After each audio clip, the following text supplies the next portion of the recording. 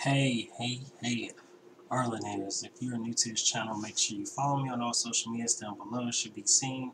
Arli Gamer on Twitter, Arli Gamer on uh, Instagram, which is spelled a little different, also on Twitch um, and Facebook. It would be much appreciated because now I have ads on Twitch, so that helps me make more money there.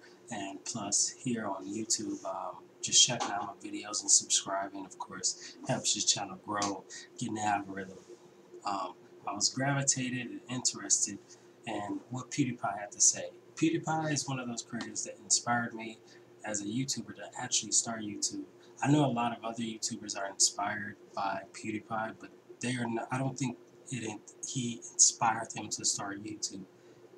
I grew up watching PewDiePie, and I realized not only how much I'm, I'm kind of like him in some ways, and he's relatable, but uh, of course, I am uh, way different from him in the same way. And one of the ways is that I don't like what he said about Marvel. Now, usually I don't disagree with PewDiePie because he is my favorite YouTuber, so I sort of have a bias towards him. But uh, when he made this title of this video, I expected him to talk about something else. No, the fact that, and not, keep in mind, I only watched the first few seconds of this video, and when he mentioned that Marvel is his most controversial thing he's done, sure, you could argue it could have been an N-word thing, or which that was a joke. I don't see why people didn't see it as a joke uh, or gamer culture. I mean, I'm not gonna lie. I say racist stuff on my, or I wouldn't even say it's racist. It's just a word. They took it out of context. Um, I say stuff to my white friends while I'm playing a video game, so I can definitely relate when he said something like super offensive with the N-word thing. So that let's get that out of the room. Whatever. And then, you know, his death to all Jews, arguably more controversial. Controversial than the Marvel stuff, okay? Maybe. But to me, the reason why the Marvel thing is the most controversial for me is because Marvel, I just love Marvel.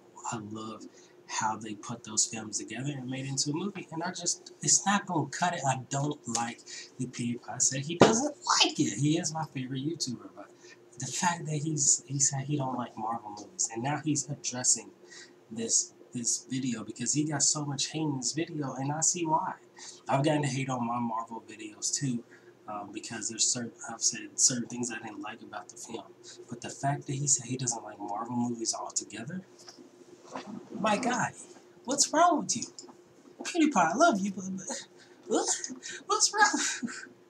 Alright, anyways, let's, let's get into the video. Like, what's wrong with you? What? No. No. Oh, okay, let's go. Let's go. Uh, what is my worst controversy by PewDiePie? What is my most controversial video? Bish lasagna? Bridge? Ah, uh, ah. Uh, nope. It's why I don't like Marvel movies. let's let's look at this video. This is the worst dislike ratio I have on any. Last but not least, in Infinity War, apparently a big deal of the movie is that a lot of superheroes die. I'm not going to spoil which ones or anything like that, but let's just enter. Thank goodness it's the most controversial video. He deserves it. like, there's no reason why this guy should get away with it. He can't get away with saying what he said, man. I'm sorry. I know some of you are PewDiePie fans. You can't let him get away with this. Okay? Not with our Marvel. Obtain the idea that, uh, let's say Iron Man dies. let's say Iron Man dies. Marvel, write that down. Haha, good one, Felix. I like how my main criticism of the Marvel films was that no one actually dies. I was proven wrong. To be honest, I never watched uh, Endgame or any of the last films, and and uh, when I flew recently from Japan to UK, my computer were in charge. I had no choice but to watch what was offered, and it was all Avengers, of course. And which is one of the reasons I I didn't like Marvel because it's literally everywhere. Uh, ironically, but I watched it and I actually enjoyed it uh, for the first time. Please don't dislike this video. I, I love Marvel, okay? This is not the point. And I realized the reason why I liked it so much was because I finally liked one of its heroes. Thanos. That's right. Thanos is epic and also very sexy. I realized that there's already a hundred videos at least about the philosophy of Thanos and, and why was Thanos right? Hmm. Population. Well, I would argue that Thanos was actually better than all of us. Here's why. well, first of all, was Thanos right? To understand that, you must understand what is right. See, you have glasses on now. what is right? Think about it. Why do I, I it's such a smug question. Don't think too hard. This is not I'm 14 and this is D. I'm waiting. Right is, in most senses, and you could call an ethical system to bring wellness to something, a community or yourself. And sometimes making the right choice will lead to unethical actions. Like, say, wiping off half the universe.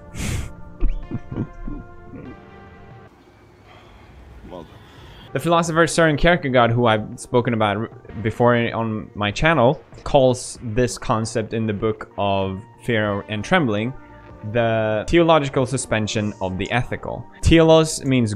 Alright, I know. This is why I like PewDiePie, and I'm gonna tell you why.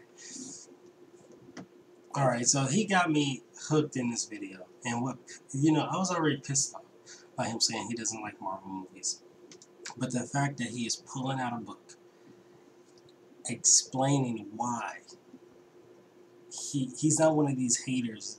He's not like some mindless person just sitting here telling you this is I don't like Marvel movies because they're suck and because they're trash and they're for kids. He's actually giving some thought and actually like showing you why and and and in an intelligent way that I can not only maybe I still disagree that he doesn't like the movies, but I can agree with his opinion. This is why I like PewDiePie because he forces you to kind of think for yourself he's kind of underrated when it comes to that sense. People just think he's a silly guy who makes meme reviews and like plays video games, but he's much deeper than you think he is. And this this is one of those videos that allows you as a viewer, and for me as a reactor or a gamer or whatever type of person person I am, to connect with him even more. This is what I try to do on YouTube, and hopefully that's what I'm doing with this commentary, telling you why. You know, I agree with PewDiePie right at this second. Um, I'm still going to get into it and give more of my opinion, but so far I've been loving it, and it's been amazing. Um, Thanos, the ideology of Thanos, I don't know if Thanos was right. It's, it's kind of hard. Like he said, uh, sometimes you have to do things in an unethical way to get the right result. Um, I can think of times I've had to do that. You know, I maybe had to cut friends uh, to maybe reach this next point because they were a bad influence on me. And if I didn't reach that next point, that could keep me from reaching certain goals. But these goals are right because I have to make sure I'm good and happy, right? So it there's so many different ways of doing the right thing maybe for for yourself or for society or a community. And sometimes that requires something bad to happen or something unethical. And this is kind of cool. This is kind of cool.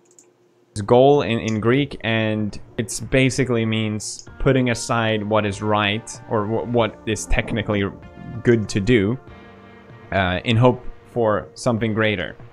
If you buy G Fuel, enter code PewDiePie, to become epically energized and, and thirst quenched, you made a theological decision. Thanos believed that wiping out half the universe.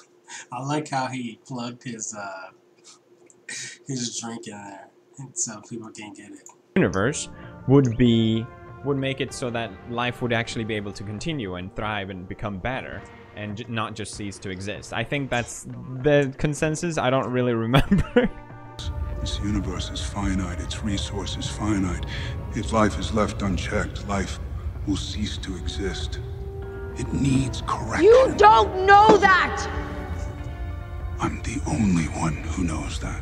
But his goal is for things to turn out well, and he doesn't take pleasure in the killing, which I think is an important distinction of him being good or right.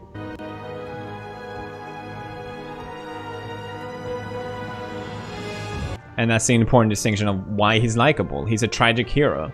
This makes Thanos what Søren Kierkegaard would call a knight of infinite resignation. Uh, and so, what is that then? Well, Kierkegaard defined life in three different stages, and I, have spoken about this on my channel before. But the first one, where most of us is, is in the aesthetic. Uh, we're sort of trapped here. We're focusing purely on our senses. We try and maximize we try and maximize them as much as possible to feel as good as possible. We don't live for one single thing but many many different things. And I think most people can relate to that. We we make these choices based on what will make us happy. So how do you get out of the aesthetic? Well, you move on to the ethical. And to put it very simple, it, it's basically living for others or another purpose beyond your senses. And it's here where the Knight of Infinite Resignation can exist. Just because it's called a knight doesn't mean it has to be a man, it could be any. But I also believe Kierkegaard calls it a knight to symbolize someone very strong and, and chivalrous and tough. You would have to be to make these sort of decisions that a Knight of Infinite Resignation has to make. When Kierkegaard talks about the infinite, he's talking about what you love and that is what defines your entire worldview. A quote from the book is So, for the first thing, the knight will have power to concentrate the whole content of life and the whole significance of reality in one single wish. The knight of infinite resignation resigns just that, everything for this wish. Uh, and Thanos did this. He put he put everything aside to reach this goal, to reach this wish. A hero is typically defined by what they love. What do you love? Have you ever made a decision on something that you sacrifice for the greater good? Uh, maybe you've given up on a dream to pursue happiness for someone else. By understanding what we love, we open up ourselves to become more vulnerable, and this is something that's very hard to do. But a Knight of Infinite Resignation also understands that the world is finite. The world doesn't always fall into the right place. Sometimes uh, you will not always win. There's a limit to each and every one of our capacities, and no matter how hard we try. Let's say you have all these mean superheroes who manages to freaking turn back time to stop you, Jesus. Time travel! What? I, I see this as an absolute win. Let's say they didn't snap Thanos back. Sorry, spoilers. Would Thanos given up given up at this point?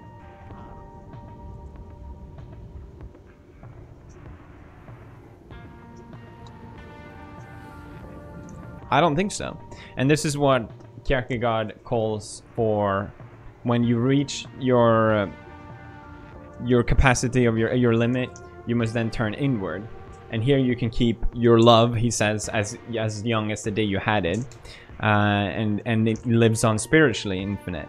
This, of course, would be very painful, but you can reconcile in its spiritually infinite existence. I think it's really interesting with Kierkegaard is that he himself gave up his love of his life, Regina Olsen. So one thing, all right. So he's talking about Thanos would he have given up if he snapped away. To to elaborate on that, the clear thing is that Thanos still reached his goal. That is what I like about this film. It doesn't matter what the fuck happened, you know, in this movie, Endgame. In Infinity War, everything still happened, no matter how much people didn't want it to happen. That's what I love about um, Endgame. Like, all the damage was still done, and they couldn't turn it back. They went back in time, but of course, they introduced quantum theories and string time travel theories and stuff. Which means there's no way to repair the past. You know, you can only go into another pat in a past in a different plane of existence or another dimension. You can't go technically back to a true point in time, which is crazy. So, yeah, Thanos still won. I feel like Thanos still won because at the end of the day, he left the heroes still, some of them gone, dysfunctional, um, what he set out to do still happened. Yes, they took out a Thanos from another plane of existence, but I mean, there's a like at the end of the day, like Thanos was saying, I am inevitable. Those words were very, very strong. Sorry, spoiler alert. Um, those words were very, very, very terrifying when I heard them said. Even though I knew in my head, I knew, you know, Iron Man was gonna sacrifice. Well, I didn't know he was gonna sacrifice himself to win, but I knew that if he stops Thanos, you know, at the end of the day, when he said he's inevitable, before he snapped and then, you know, Iron Man took the glove. I mean, not the glove, but the stones. It's like those words are so crazy because he is inevitable because it still happened. And in another timeline another timeline another timeline. Thanos still did what he did. That is crazy when you think about it like that. It makes him so much deeper as a character. You won't forget Thanos if the MCU moves on and becomes bigger and better and more popular guess what? You won't forget Thanos in the first 10 years of the MCU because he really, really left an impact. When he said he's inevitable, it's true. No matter what you do, I'm going to wipe out half the universe. And maybe that's what had to happen for them not only to win an Endgame, everything had to happen the way it did for life to move on. It's crazy. It's crazy um, to pursue his writing. Another sacrifice. And I think that's probably why he came up with this whole idea.